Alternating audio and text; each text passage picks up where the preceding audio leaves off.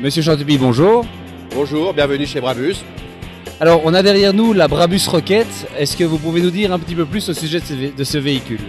Oui, bien sûr, c'est euh, près, près de 30 ans d'expérience de Brabus euh, que vous avez derrière vous. C'est un condensé de technologie, de puissance, avec des chiffres, euh, allez, je vais vous dire, euh, 730 chevaux, 1230 newtons dès 1700 tours, jusqu'à 2100 tours.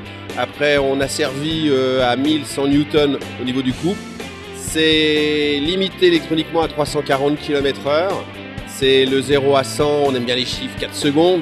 De 0 à 200, euh, 10 secondes 5. Et de 0 à 300, 29 secondes 5.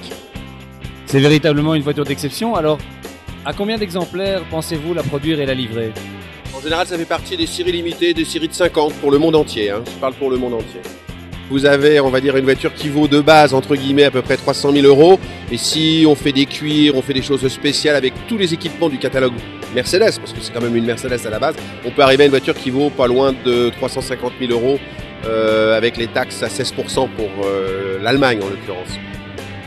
Pourquoi la Rocket Bah, imaginez que vous êtes assis sur une roquette. Bon, la seule différence, c'est que là, vous êtes assis dans du cuir et que avec 4 secondes, vous faites un petit peu mal au cervical et ça doit pousser comme une roquette. Quels sont les autres gros modèles de la marque Brabus?